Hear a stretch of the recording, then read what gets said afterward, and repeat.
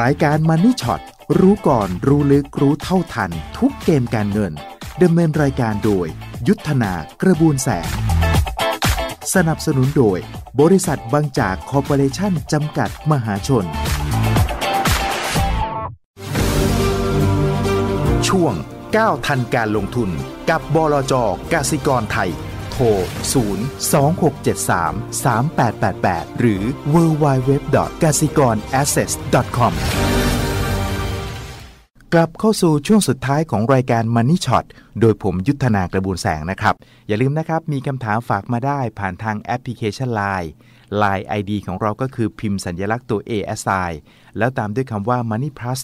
M O N E Y P L U S Money Plus ติดกันตรงตัว เชิญเลยนะครับ คุณผู้ฟังครับ ช่วงนี้เป็นช่วง9ทันการลงทุนกับบลจกสิกรไทยนะครับ ขอแสดงความยินดีด้วยกับทางบลจกสิกรไทยนะครับ บริษัทหลักทรัพย์จัดการกองทุนกสิกรไทยจำกัด หรือบลจกสิกรไทย คว้ารางวัลกองทุนยอดเยี่ยม แห่งปี 2562 ประเภทกลุ่มกองทุนตราสารทุนโลก หรือ Global Equity จากกองทุนเปิด K Global Healthcare หุ้นทุน Unhedge ในงาน Money and Banking Award 2019 โดยมีคุณสันติ วิริยะรังสลิดประธานบรรณาธิการ วารสารการเงินธนาคาร เป็นประธานจัดงาน พร้อมด้วยดรสมคิดจาตุศรีพิทักษ์ รองนายกรัฐมนตรี ให้เกียรติเป็นประธานในพิธี ก็ขอแสดงความยินดีกับบลจกสิกรไทย เอาไว้ณที่นี้ด้วยนะครับ ส่วนช่วงนี้ครับคุณผู้ฟังครับ ผมเชิญท่านผู้อำในวยการส่วนงานค้าตราสารหนี้และหน่วยลงทุน บริษัทหลักทรัพย์บูหลวง คุณเสริมศักดิ์วงศ์สิทธิโชตให้เกียรติมาคุยกับเราด้วยในช่วงนี้ครับ สวัสดีครับ จันปิ๊กครับ สวัสดีครับพี่ยุทธนาครับผม สวัสดีโอ้ท่านผู้ฟังนะครับนะครับ ขอบคุณที่คิวเยอะมากๆ ก็ยังให้เกียรติกลับมาคุยกับเราอีกครั้งหนึ่งในวันนี้ด้วยนะครับโอ้จันยินดีปิ๊กเลยยินดีจันครับเขาบอกว่ายุคครับเนี้ยเป็นยุคดอกเบี้ยขาลงครับการหาสินทรัพย์ในการลงทุนก็ต้องคิดเผื่อในเรื่องนี้ไว้ด้วยหรือเปล่าครับจันปิ๊ก โอ้แน่นอนครับ นักออมเงิน นักอ่าลงทุนก็ครับต้องหาช่องทางนะครับอ่าในการออมนะครับคในรับการลงทุนที่จะให้ผลตอบแทนมั่นคงและก็ค่อนข้างจะสม่ำเสมอและที่สำคัญคือก็อาจจะต้องสูงกว่าเงินฝากหน่อย ดังนั้นก็ต้องหาสินทรัพย์ประเภทที่เอาไว้สู้กับดอกเบี้ยต่ำใช่ไหมครับจันปิ๊กใช่อ๋อใช่ครับสองสามปีที่ผ่านมานะครับเม็ดเงินเราจะเห็นเนี่ยโยกย้ายมาที่กองทุนนะครับประเภทที่เราเรียกว่าอสังหาริมทรัพย์รีดแล้วก็กองทุนโครงสร้างพื้นฐาน กองทุนพวกนี้เนี่ยมีรายได้ค่อนข้างสม่ำเสมอ และให้ผลตอบแทนในรูปของเงินปันผลเนี่ยค่อนข้างสูงครับ แล้วสินทรัพย์ประเภทเนี้ยยังครับสามารถตอบโจทย์ได้อยู่ไหม หรือว่าน่าจะมีสินทรัพย์ประเภทไหนอีกที่น่าจะเป็นทางเลือกที่น่าสนใจครับจันปิ๊ก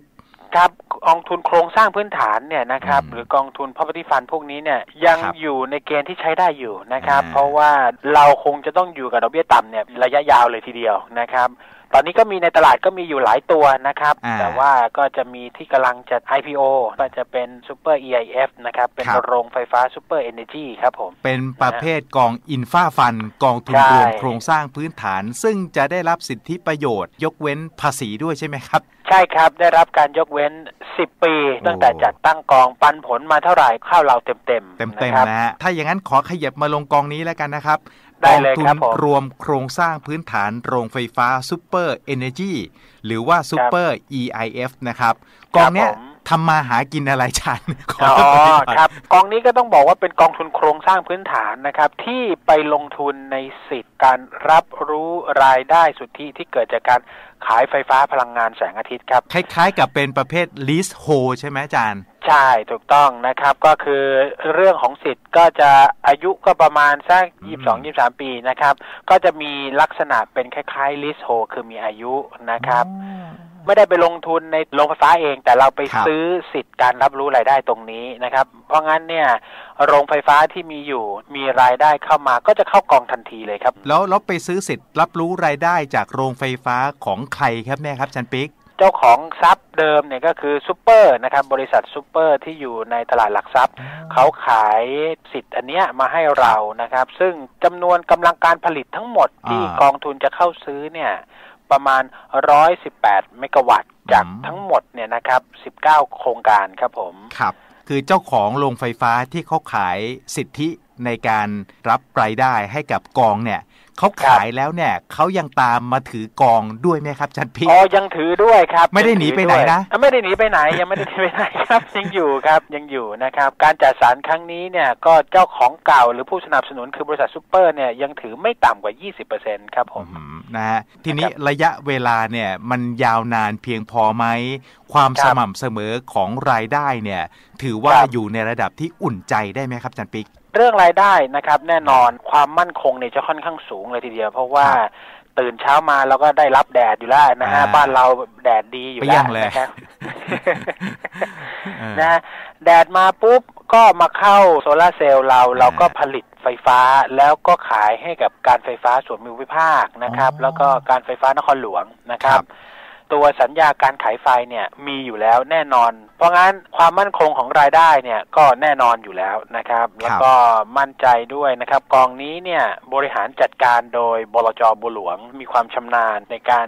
บริหารจัดการสินทรัพย์กองทุนรวมประเภทโครงสร้างพื้นฐานเนี่ยนะครับครับก็เป็นบลจที่ดูแลไซส์ขนาด ใหญ่ที่สุดณตอนนี้นะครับ มีคนรับซื้อไฟอยู่แล้วก็คือการไฟฟ้านะฮะใช่ครับใช่ครับ สัญญาประมาณสัก 20 ปี เพราะฉะนั้นรายได้เข้าสู่กองก็ค่อนข้างสม่ำเสมอ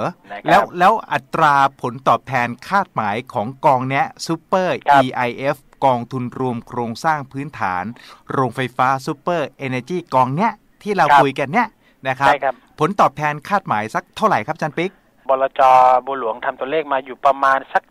7.49%ในปีแรกนะครับรบแล้วก็คาดว่าจะ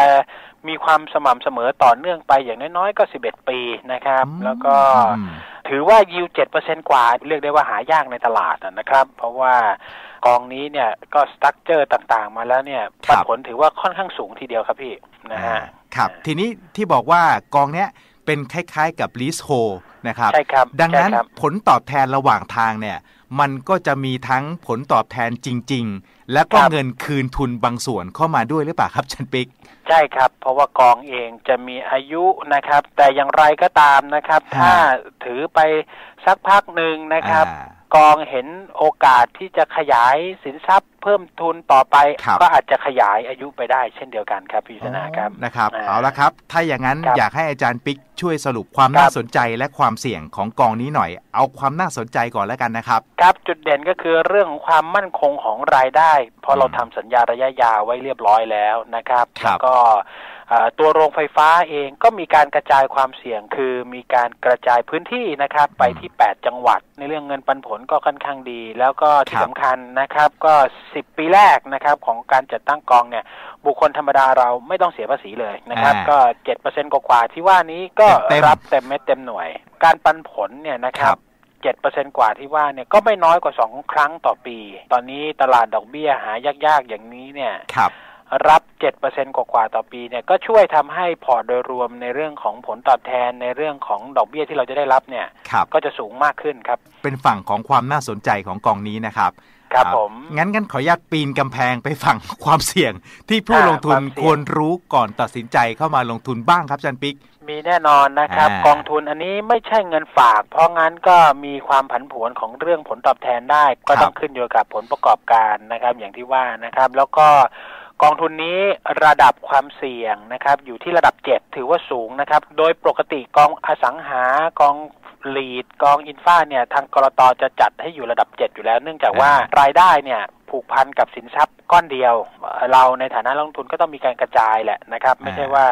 เงินท่านทั้งหมดแล้วจะมาลงตรงนี้อย่างเดียว แล้วก็รายได้ขึ้นอยู่กับการขายไฟก็ถ้า แสงอาทิตย์เนี่ยความเข้มน้อยลงอะไรเงี้ยนะครับ ก็อาจจะส่งผลกระทบต่อรายได้ได้เช่นเดียวกันนะครับ เพราะงั้นท่านผู้ลงทุนต้องเข้าใจในเรื่องความเสี่ยงเข้าใจในเรื่องของสินทรัพย์ที่เราจะไปลงทุนนะครับ แต่ว่า ความเสี่ยงอันนี้ก็จะถูกชดเชยด้วยผลตอบแทนนะครับ ที่คาดว่าจะสูงอยู่ประมาณทักเจ็ดเปอร์เซ็นกว่าครับผมจันปิ๊กครับ อย่างกองอินฟาที่เรารู้จักกันเนี่ยไม่ว่าจะเป็น DIF หรือว่าจะเป็น JETIF เนี่ย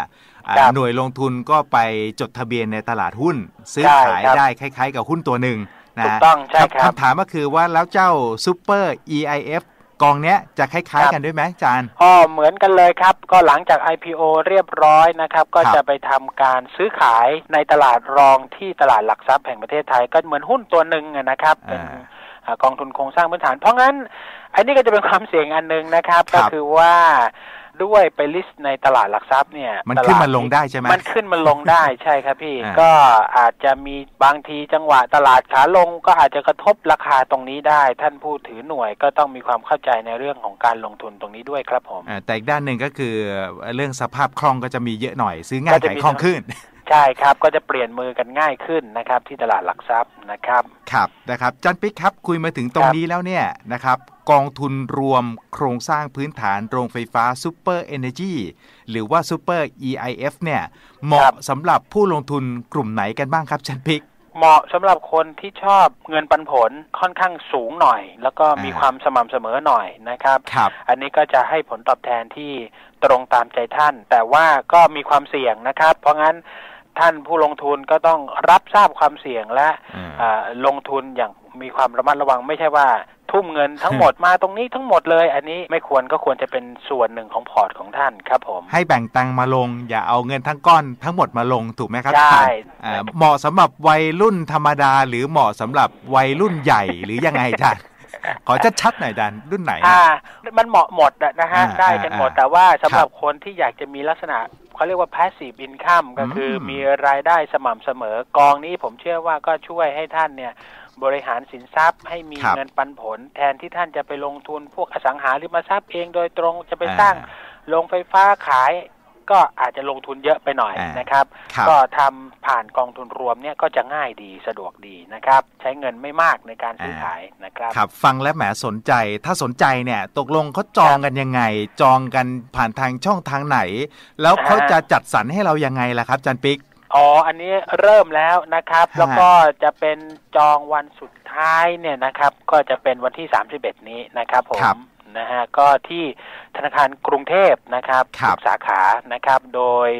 เอ่อขั้นต่ำการลงทุนครั้งนี้เนี่ยก็คือเรียนว่าหน่วยละ 10 บาทนะครับ IPO ตัวนี้เป็นอ่า IPO นะครับ ขั้นต่ำก็คือ 2,000 หน่วยก็คือ 20,000 บาท แล้วก็อืมอืมเพิ่มทวีคูณทีละร้อยหน่วยก็คือ 1,000 บาทนะครับครับ โดยวิธีการจัดสรรเนี่ยนะครับ ด้วยเงื่อนไขของการจัดกองทุนโครงสร้างพื้นฐานเนี่ยเขาต้องการให้กระจายหัวนักลงทุนให้ทั่ว ๆ นะครับอ่า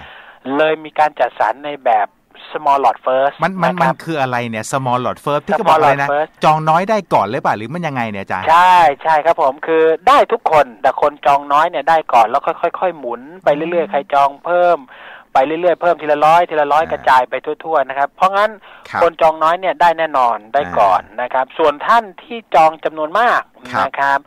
อาจจะได้ไม่ครบจำนวน จองขั้นต่ำสองหมื่นใช่ไหมสองหมื่นขั้ต่ำบาทบวกทีละพันครับพี่อ่าอ่าอ่าที่ธนาคารกรุงเทพทุกสาขานะครับ ใช่ครับอ่าใช่ครับ หมดเขตเมื่อไหร่ครับอาจันปิ๊กครับ จะถึงวันที่สามสิบเอ็ดนี่ครับกรกฎาคมนี่ครับผมอ่าจนถึง 31 กรกฎาคมนี้นะครับอาจารย์ครับครับสามสิบเอ็ดถ้าไปวันสุดท้ายเนี่ยก็อ่าสิบห้าจุดศูนย์ศูนย์นะครับ ไม่นะฮะไม่ต้องรอสุดท้ายก็ได้มั้งอย่าแล้วใจก็เย็นขนาดนั้นเลย เออ แล้วคนใจเย็นนะฮะ เห็นบอกเออ small lot first ได้แน่อะไรเงี้ยนะขอรบกวนก็คือไปเนิ่นๆแล้วกันอ่าอ่านะคบอาจารย์ถามจากประสบการณ์หน่อย เวลาครับอย่างกองประเภท infra fund แบบเนี้ย มันครับมันจะมีความแตกต่างกันไหมระหว่างการซื้อ IPO กับการไปรอซื้อตอนเข้าไปอยู่ในตลาดหุ้นแล้วอะ มันจะต่างกันไหมอาจารย์เออก็มีโอกาสที่จะแตกต่างอะนะฮะทั้งฮะทางบวกและทางลบนะครับยังไงแต่อาจารย์ยังไงอาจารย์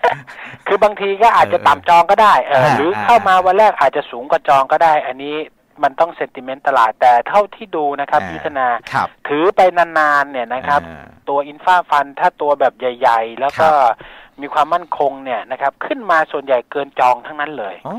อ่านะฮะอ่าจากประสบการณ์เล่าสู่ใอดีตกันฟังนะฮะนะแหฮะมและยุคนี้เนี่ย พอดอกเบี้ยมันต่ำๆเนี่ยเออนักลงทุนก็จะมาเข้ามาซื้อตรงนี้ในตลาดในกระดานกันมากขึ้น ราคาก็ขึ้นครับพิจารณาครับอ่านะครับอ่าก็ก็เหมาะสำหรับคนที่ต้องการกินปันผลยาวๆเป็นหลักนะใช่แล้วครัก็บอาจใช่จะครับต้องมีจิตใจที่เข้มแข็งหน่อย เพราะว่าอ่าบางทีราคาหน่วยในตลาดมันก็ผันผวนในตลาดได้นะ ก็ตามอารมณ์ตลาดได้เหมือนกัน อันนี้มีส่วต้องทำใจไว้ก่อนนะระหว่างทางนะครับใช่ครับเอใช่ออาจารย์ครับอาจารย์โดยหลักการแล้วเนี่ย การมีหุ้นประเภทกอง infra fund ในพอร์ตครับลงทุนของเราเนี่ยนะครับครับผมมันควรจะมีสัดส่วนสักกี่เปอร์เซ็นต์เนี่ยอาจารย์โอ้สำหรับคนถ้าที่รับความถ้าเสี่ยงท่านในปานกลางเนี่ยอ่า รับความเสี่ยงปานกลางนี่อย่างน้อยๆผมว่าก็ประมาณสักสิบเปอร์เซ็นขึ้นไปได้ครับผมอ่าเพราะว่าอ่ากองทุนพวกนี้เนี่ยครับมันมีรายได้ที่ค่อนข้างแน่นอนครับนะครับก็แต่ว่าอย่างไรก็ตามก็ควรเลือกดูเป็นรายตัวเหมือนกันนะครับอ่าไม่ต้ใช่องว่าเลือกทุกตัวอ่าต้องต้องเลือกนิดหนึ่งผสมผสานพอร์ตก็สักครับ สิบเปอร์เซ็นถึงอ่ายี่สิบเปอร์เซ็นได้ครับผมอ่ากำลังเหมาะนะฮะประมาณนี้นะกำลังสิบเหมาะถึงยี่สิบเปอร์เซ็นต์นะครับใช่ครับอ่าเอาละครับอาจารย์ครับปิดท้ายนะครับคุยกับอาจารย์ปิ๊กขอปิดท้ายด้วยเรื่องนี้กันแล้วกันนะครับครับผมอ่า The Stock Master 2019 ของหลักทรัพย์บัวหลวงนะอ๋ฮะอครับผมตกครับตกลงปีนี้ ธีมเป็นยังไงเพราะผ่านมาถ้านับเลขไม่ผิดก็ปีที่ 8 แล้วอาจารย์ ปีที่ 8 แล้วครับพี่ยุทธนาสำหรับอ่า Stock Master ก็เป็นโครงการของหลักทรัพย์บุหลวงนะครับ ที่ครับจะช่วยนักลงทุนให้มีความเข้าใจในด้านการลงทุนมากยิ่งขึ้นนะครับอ่าโดยทีมปีนี้เนี่ยเราใช้ทีมว่า Trade Master ซึ่งเป็นแอปพลิเคชันการซื้อขายหุ้นของบุหลวงนะครับครับที่พัฒนามาจากของเกาหลีเขานะครับอืมแล้วเราเอามา matching ใช้กับประเทศไทยนะครับ ก็มีฟังก์ชันนะครับในการซื้อขายที่ฮะเยอะมากมาย ถ้าใครสนใจก็ครับลองมาสมัครเรียนรู้อ่าการใช้ Trade Master ตัวนี้ครับผมเอ่อดูจากภาพแล้วเนี่ย รู้สึกคล้ายๆ เชิญบอยแบนด์เกาหลีมาสอนเลย มันยังไงครับเนี่ยอ๋อมีทีมงานทีมงานนะโอ้ครับฟังก์ชันเยอะมากนะครับอ๋อแล้วก็เหมาะสำหรับนักลงทุนที่ชอบครับการเทรดนะครับ ตัวนี้อ่าเครื่องมือผมเชื่อว่าครับถ้าท่านใช้เป็นเนี่ยโอ้โหหากินในตลาดหลักทรัพย์ได้สบายอ่าอาจารย์ปิ๊กเป็นหนึ่งนะครับในวิทยากรที่จะมาให้ความรู้ในโครงการนี้ด้วยใช่ไหมครับอ๋อด้วยครับด้วยครับโอ้ผมก็จะดูเกี่ยวกับฟังก์ชันเรื่องของ พื้นฐาน fundamental ของหุ้นดูอะไรครับอย่างไรผ่าน Trade Master ตรงนี้ครับอ่าแล้วมีอะไรเป็นสไตล์เกาหลีไหมอาจารย์โอ้โหดูดูดูจากภาพแล้วเนี่ยโอ้โหนึกว่าบอยแบนด์มาเองเลยนะฮะโอ้ฮะฮะนะแล้วแล้วใครบ้างจะเข้าร่วมโครงการนี้ได้ครับอาจันปิ๊ก อ๋อ ก็เป็นลูกค้าของหลักทรัพย์บัวหลวงนะครับอ่าที่เป็นลูกค้าเดิมอยู่แล้วครับนะครับ หรือท่านที่เป็นลูกค้าใหม่นะครับ ก็ลองเข้ามา register ได้นะครับ ที่ the stockmaster b u l u n g co th ครับผม ครับ หรือสอบถามนะเพิ่มเติมช่องทางไหนยังไงครับอาจันปิ๊กสอบถามเพิ่มเติมนะครับ 026181111 ครับผม อ่า เริ่มโครงการนี้สักเมื่อไหร่ครับอาจารย์ครับ อ่าสมัครเนี่ยตั้งแต่วันนี้ถึง 30 สิงหานะครับอ่าแต่ว่าการเรียนเนี่ยเราจะเป็นครับในลักษณะออนไลน์นะครับอ่าก็จะตั้งแต่ 9 กันยาถึง 11 ตุลาครับผมอ่าแล้วก็เจอกันแต่ว่าโบกมือแล้วไม่ไม่มีโบกกลับเป็นทูเวฮะก็ระบบก็คุยกันได้ คุยกันได้อ่าคุยกันได้คุยกันนะได้ใช่ครับใช่ครับนะแล้วก็โครงการนี้ก็ฝึกจริงแล้วก็มีการเทรด แข่งขันกันด้วยนะครับครับ ก็ใครชนะก็มีของรางวัลเล็กๆน้อยๆให้กันด้วยครับผมนะต้องบอกว่าเป็นอีกหนึ่งโครงการที่น่าสนใจจากหลักทรัพย์บัวหลวง The Stock Master 2019 นะครับ ติดตามครับให้ได้ผมนะครับ เอาละครับวันนี้ขอบคุณอย่างสูงเลยนะครับอาจันปิ๊กครับ ครับ ขอบคุณมากครับคุณวิชาครับ สวัสดีครับผม สวัสดีครับ ครับ คุณเสริมศักดิ์วงสิทธิโชตผู้อำนวยการส่วนงานค้าตราสารหนี้และหน่วยลงทุนบริษัทหลักทรัพย์บัวหลวงนะครับ มาแนะนำทางเลือกในการลงทุนที่น่าสนใจมีมาฝากกันนะครับ ส่วนเรื่องเที่ยวครับ วางแผนท่องเที่ยวทริปชิลๆในวันธรรมดา และวันหยุดเสาร์อาทิตย์ กับที่พักโซนใหม่ Blue Amazon ของเขาใหญ่แฟนตาซีรีสอร์ทมาเพิ่มประสบการณ์อันแสนประทับใจ ที่ผสมผสานความเป็นธรรมชาติ และความแปลกใหม่ไม่ซ้ำใคร กับห้องพัก Family Deluxe สำหรับ 4 ท่าน และ Family Suite สำหรับ 6 ท่าน หรือจะพักผ่อนชิลๆบ้านโดมสำหรับ 2 ท่าน เขาใหญ่แฟนตาซีรีสอร์ทรีสอร์ทที่ทำให้เราได้อยู่ด้วยกันมากขึ้น 088 504 9991ถึง3 088 504 9991ถึง3หรือ www เขาใหญ่ fantasy com นะครับ และทั้งหมดนี้ก็คือรายการ Money Shot โดยผมยุทธนากระบวนแสง อย่าลืมนะครับ เชิญเข้าร่วมงานสัมมนาครบรอบ1ทศวรรษ Money Shot Fit You Money งานจะมีขึ้นในวันเสาร์ที่ 31 สิงหาคมนี้ ตั้งแต่เวลา 8 นาฬิกา 30 นาทีจนถึง 17 นาฬิกา ณ โรงแรมโฟวิงสุขุมวิท 26 งานนี้มีค่าใช้จ่าย สอบถามเพิ่มเติม 081-984-9735 หรือทางไลน์ ID พิมพ์สัญลักษณ์ตัว A S I แล้วตามด้วยคำว่า Money Plus M O N E Y P L U S Money Plus ติดกันตรงตัว วันนี้เวลาหมดแล้วผมยุทธนาลาไปก่อนนะครับ สวัสดีครับ ช่วง 9 ทันการลงทุนกับบลจกสิกรไทย ร 026733888 หรือ w w w g a s i k o r a s s e s c o m รายการ Money Shot รู้ก่อนรู้ลึกรู้เท่าทัน ทุกเกมการเงินดำเนินรายการโดย ยุทธนากระบวนแสง สนับสนุนโดย บริษัทบางจากคอร์ปอเรชั่นจำกัดมหาชน